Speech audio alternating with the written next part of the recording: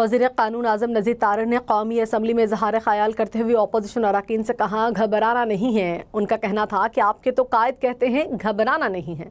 काजी फाइजीसा का नाम आप इसलिए ज़्यादा ले रहे हैं क्योंकि वो ज़्यादा आपको ख्वाब में आते हैं। वज़ीर कानून ने कहा कि हमने भी आपके डैम फंड वाले को भुगता है। अदालतों ने चीनी और बिजली के नर्ख तय नहीं करने, हमारी यही कोशिश होती है कि सियासी मामला अदालतों में हल हों, क्योंकि हम इकट्ठे बैठ कर हल नहीं कर सकते।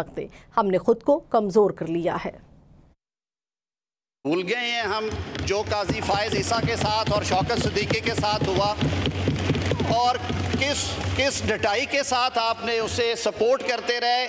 दोनों रेफरेंस जो हैं, दोनों रेफरेंस मुँह पे मारे अदालत ने और वो लोग बहाल हुए और उनकी विंडिकेशन हुई। हम लोगों ने अपनी कमज़ोरियों की वजह से अपनी कमज़ोरियों की वजह से हम अपने पॉलिटिकल इश्यूज़ भी हर वक्त हमारी ख्वाहिश होती है कि वहीं पे जाएँ और वहीं पे सेटल हों, क्योंकि हम इकट्ठे बैठ के हल नहीं कर सकते। हमने अपने आप को कमज़ोर कर लिया है। हमने नादानियाँ इतनी की हैं, इतनी की हैं कि आपने अपनी सारी ताकत, अपना सारा इख्तियार दीवार के उस पार दे दिया है। रहनुमा तहरीक इंसाफ असद कैसर का कहना है कि चोरों की तरह छुट्टी के दिन रात में डाका जनी की कोशिश की गई।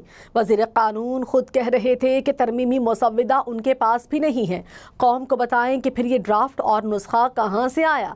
हम आयन की बालादस्ती, आज़ाद अदलिया, पार्लियामेंट की मजबूती और कानून की बालादस्ती चाहते हैं। अगर इस तरह की कोई तजवीज़ हैं तो हम वेलकम करते हैं। अगर चोरों की तरह कानून साजी करेंगे तो हम इसको नहीं मानेंगे। हम मुजाहमत करेंगे। अदालतों समेत हर फोरम पर जाएँगे।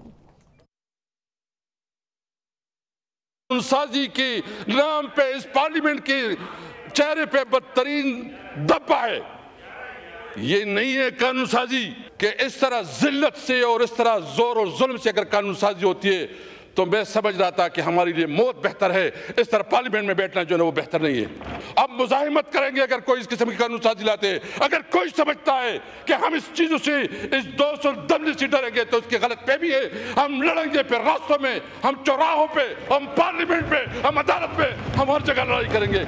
याद रखे वल्ला वल्ला वल्ला, अल्लाह हाजिर नाजिर किसी तौर पर आपकी दो सौ दमकी में नहीं आएँगे।